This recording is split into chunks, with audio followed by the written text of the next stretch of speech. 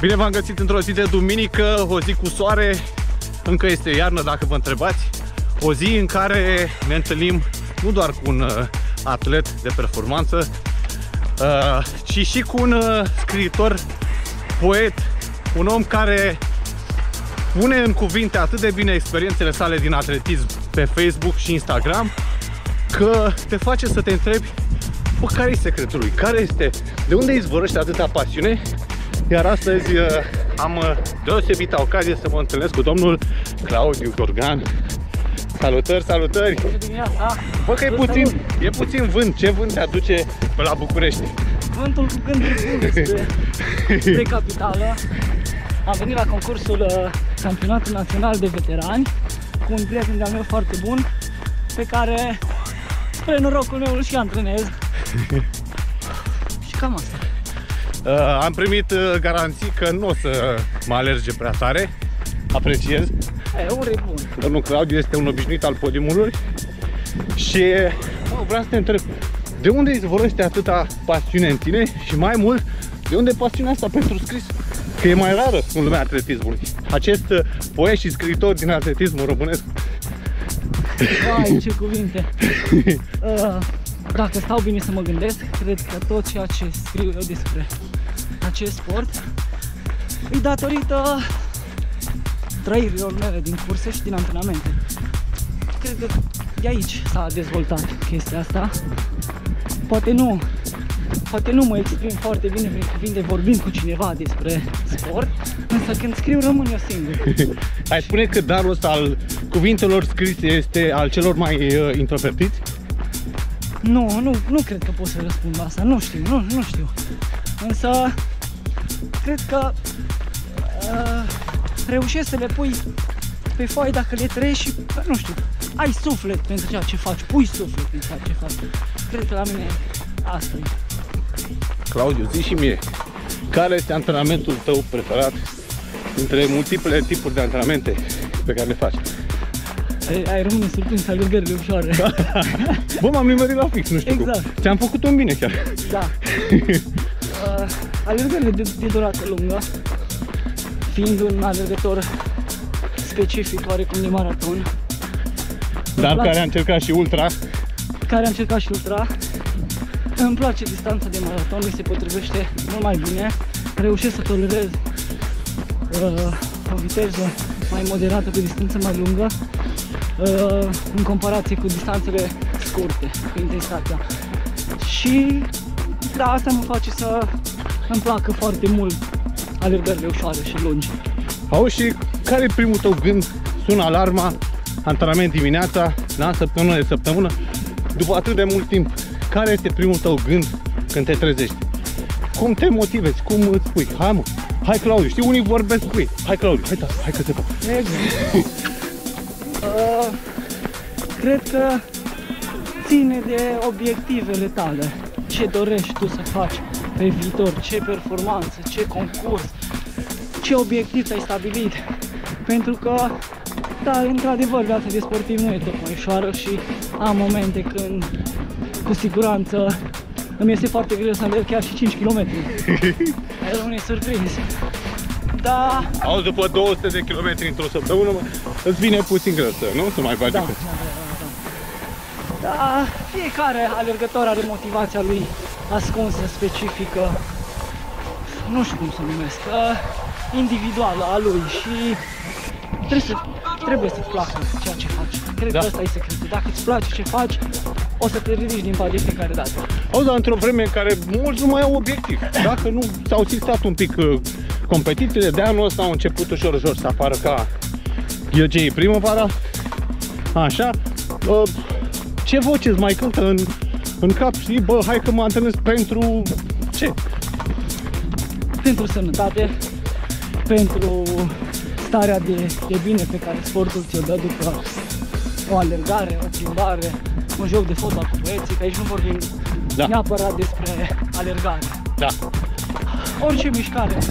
Cred că asta te face să mergi înainte, un pas. Chiar dacă concursurile nu mai sunt, au fost uh, anulate o perioadă destul de lungă și fiecare dintre noi a motivație. Motivația noastră o găsim nu știu, unii vor să arate bine, să fie foarte bine tonifiat. Tu arăți bine de la natură, oricum, a? Eu aș vrea să, eu aș vrea să cred că pot să alerg mai bine, nu să arăt bine. Că dacă alerg bine și tare, arăt și bine. Cred. Adevărat, da. Uh, Spune și mie cum arată o zi grea pentru tine din punct de vedere al antrenamentelor. Ziua aia în care zici, bă, astăzi, astăzi o să fie greu. Cred că alergările lungi, uh, controlate, la un pace susținut, cred că asta, asta pot să o numesc greu, dar în același timp fascinant. Uh, când reușești o secundă sau o jumătate de secundă să te depășești în comparativ cu alt antrenament, cred că asta îți dă putere și e foarte frumos chestia asta. Dar în același timp e greu, e greu, e foarte greu să susții un risc susținut la, pe, o, pe o distanță lungă de 32, 38, 35 de km, ceea ce Mai ales după ați ani. mai ales, da, da. Îl mai sun pe Kipchoge, îți găsești uh, A, Bekele e favoritul știi? meu. Bechele. Forever. Ah, atunci ca să-l enervezi pe Bechele, îl sun pe Kipchoge. Știi? Exact. uh, zi și mie, cât de importantă e alimentația în uh, acest proces? Oh, întrebare bună, bună. Foarte importantă. Mm, și nu știu să ți-o numesc pe cea potrivită pentru că fiecare dintre noi suntem speciali uh, și ne adaptăm. Uite, poate tu mănânci înainte de alergare, de exemplu, un iaurt sau un biscuit, eu mănânc altceva. Nu, nu știu să zic, dar uh, e foarte bine să, să te alimentezi cum trebuie și să ai aportul de calorii uh, bun și ce e mai important, după a- mișcare și după antrenament, să, să te alimentezi cum trebuie. Cred că ar trebui să vedem, să sunăm un, un, un nutriționist, să-l întrebăm. Da, uh, mănânc destul de di- diversificat și în același timp și simplu. Ai un uh, moment ăsta de care ți-aduce aminte cu drag, dintr-o cursă, în care ai pândit pe cineva, ai așteptat. Pe ultima 100 de metri l-ai depășit sau ceva de genul ăsta. Uh, sunt multe curse pe care le-am alergat și multe amintiri frumoase. Uh, nu știu, unul preferat pentru mine ar fi maratonul de la Firenze 2015, unde era să mă autodepășesc și să fac un, un timp foarte bun, să reușesc un timp foarte bun, însă pe cât că îmi place foarte mult, am amintiri destul de nasoale pentru că ultimii 2 km pur și simplu m-am plimbat și am reușit să termin maratonul cu ultimii 2 km în 15 minute. Oh, oh, oh. Deci foarte... Deci l-ai mers. Am mers, pur și simplu am mers. Bă, eu cred că ai făcut o aroganță de asta. Ai scos un timp atât de bun încât ți-ai zis la final Bă, ia să merg un pic, că și așa nu mă ajunge nimeni din urmă. Mi-ar fi plăcut mie, să știi că chiar mi-ar fi plăcut. și e un moment frumos. Reuși, am reușit să alerg 36-37 de kilometri la o viteză la care n-am reușit niciodată în viața mea de atunci să mai, să mai alerg și da, a fost frumos, Poate aveai inima frântă, știi, și ți-a dat putere chestia asta. m-am gândit la asta, m-am gândit la asta, să știi. Ai zis, bă, gata, hai să-ți arăt cine sunt. Exact. și mi amintesc un moment fain uh, când am alergat cu tine pentru prima dată.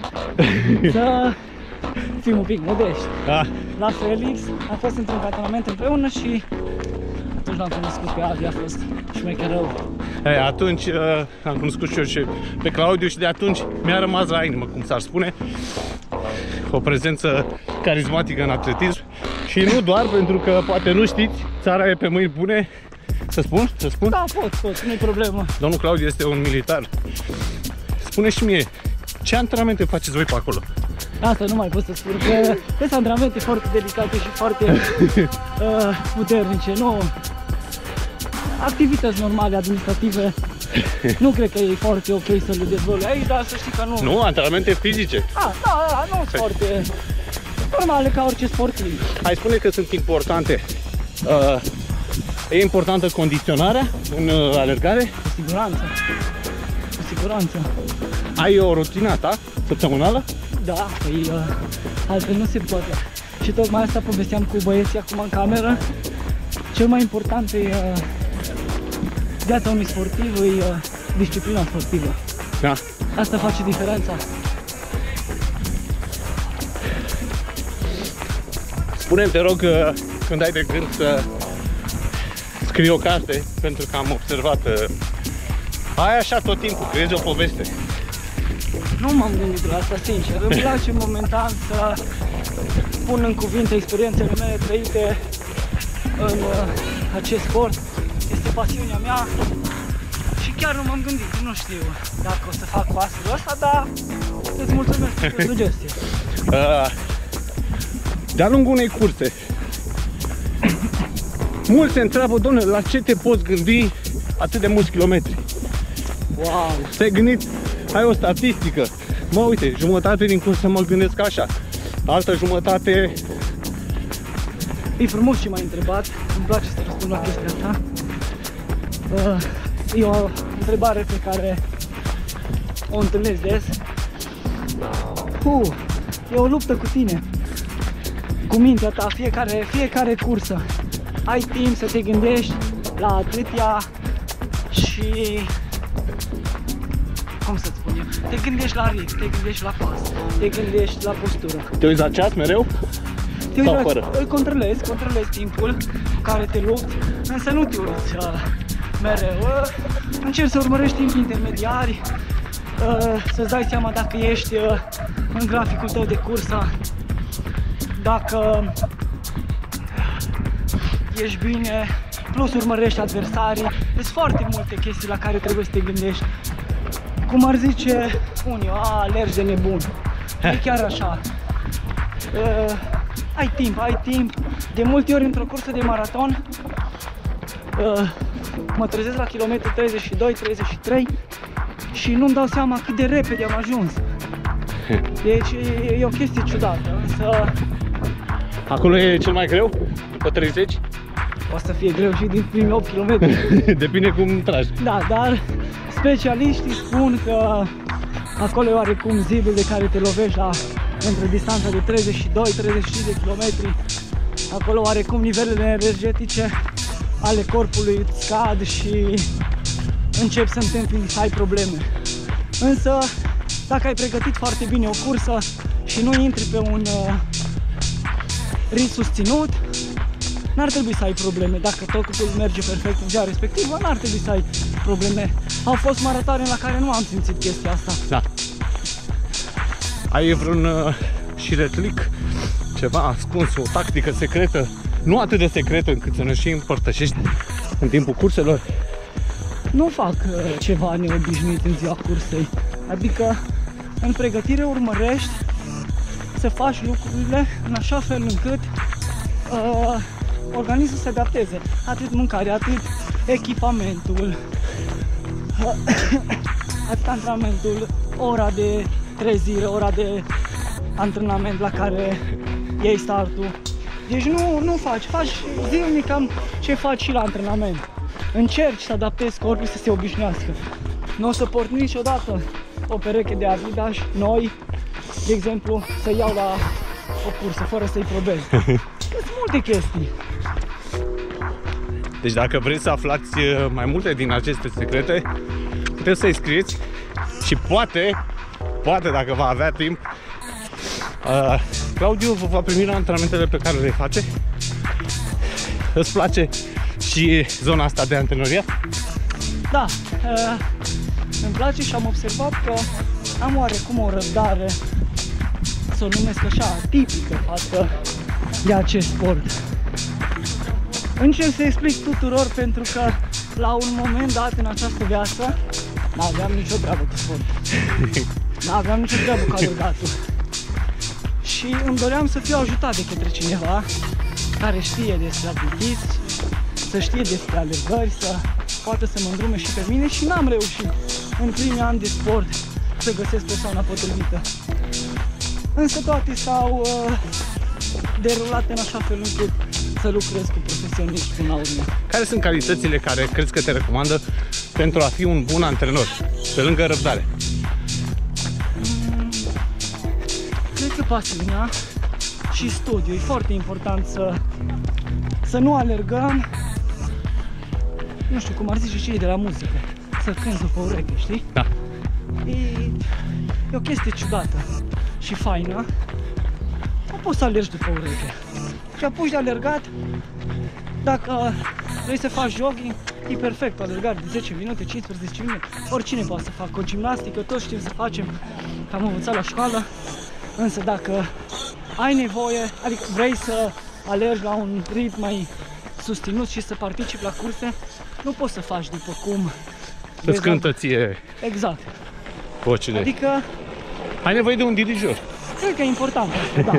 Foarte important. Plus că am, te bagă și într-un film, adică știi că faci parte dintr-un plan, nu? și ești mai responsabil. Exact, da, exact. Am, uh, am și eu doi prieteni, trei, pe care încerc să-i îndrum.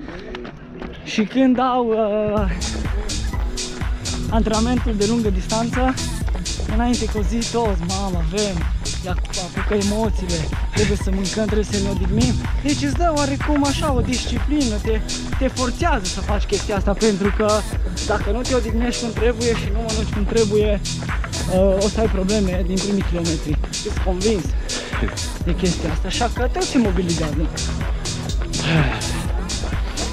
Domnul Claudiu, îți mulțumim pentru timpul tău. Uh, lasă un mesaj oamenilor care te urmăresc. Ia te rog frumos camera. Da? Și lasă tu un mesaj oamenilor, eu mă opresc aici. Ha, E prima dată când fac chestia asta, să mă filmez, nu prea. Uh, aș vrea ca oamenii obișnuiți să înțeleagă că mișcarea e foarte importantă și să vă duceți la sport. Orice sport faceți. Un pic de mișcare îți dă o stare de bine și îți aduce zâmbete pe buze.